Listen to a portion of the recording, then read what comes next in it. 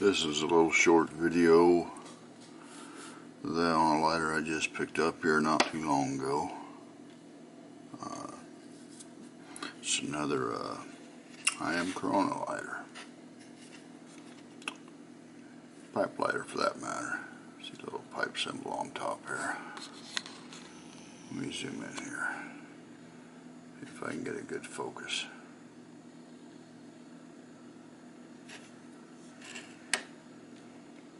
I don't know how old this is, but uh, it hasn't been used much. Looks at the bottom. I.M. Corona. I call it Pipe Magie. Hasn't had much use on it. The lid is just excellent shape.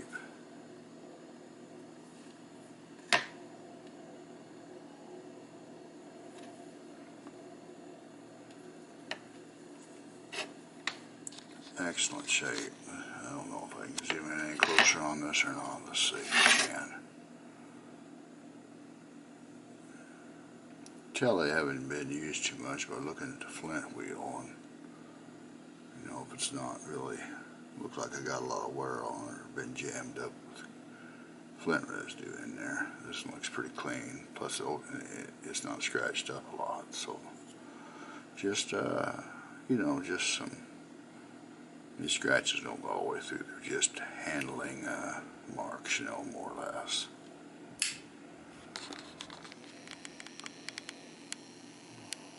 Well, you know, I've never had one of these before, and I thought, when I first opened it, I thought, man, that's a small lighter, you know. Probably about the same size as a Dunhill Rollagas, but not near as thick. Okay, Dunhill probably, oh, I don't know, third again as thick, maybe. But the first thing I noticed when I opened it up and struck it is how easy that roller worked. Alright.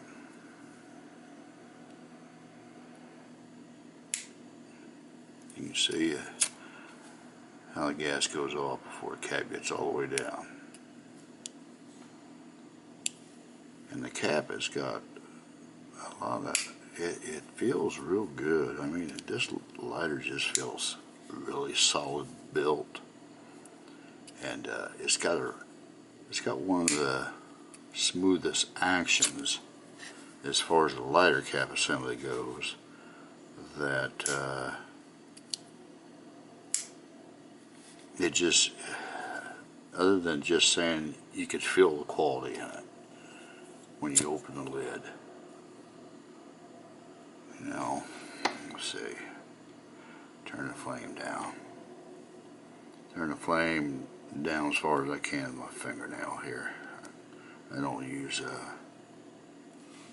there's still a small flame there if you can see it. Now let's shut it off.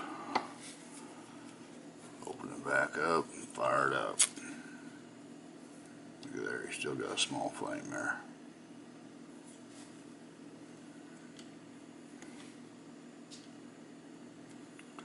Just open it up a little bit.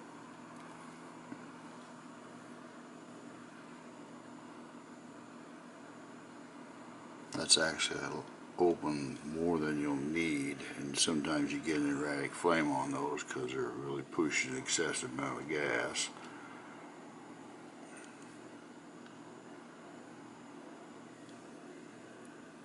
But this is an excellent quality lighter if you if you want something that's uh, you know it doesn't take up a lot of space. Say for instance something that just it feels good in the hand feels solid but you don't want something as big as a maybe an old boy or uh, I don't know pipe master. Let's see. I got a pipe master here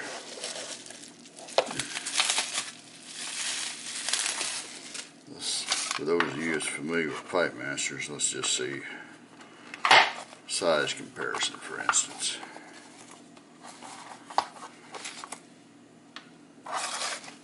Alright, Here's a pipe master.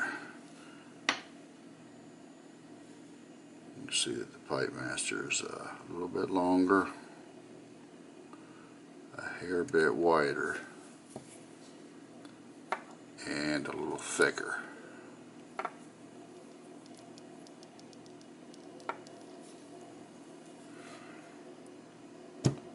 But uh, don't let that size fool you. This thing holds, let's see. Let me see.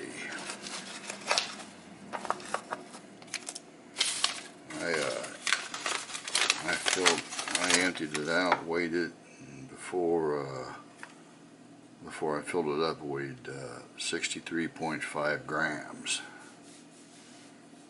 And after I filled it up, weighed sixty-five point three grams. That's a total of one point eight grams.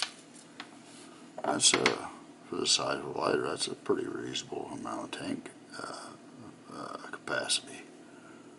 Uh, But if you've been looking at one of these and, uh, and you, you know, you've been kind of, uh, putting off, purchasing one, I can tell you right now that this is a, this is a quality lighter. It really is. And the good thing about it is, even though it's vintage, you can still get them serviced out of ARS Lighter Repair out of Henderson, North Carolina. Uh, they're still they're the uh, factory authorized IM Corona Service Center. So, uh, you know, if you have a if you have a IM Corona lighter of any sort and it's giving you problems, then you just you know been putting off having it fixed, give those boys a good shout out there because uh, they do good work. You send your lighter in, and they'll send you back an estimate. Okay, just bear in mind it's going to cost you about a little under eleven dollars uh, when they ship it back to you if you decide not to get one because when they send lighters back, they send them uh, signature confirmation, so it costs a little bit more on shipping. So you know, of course, shipping isn't cheap nowadays, but uh, then again, uh, a good quality service isn't cheap either. You know, having something done something done right is two different things.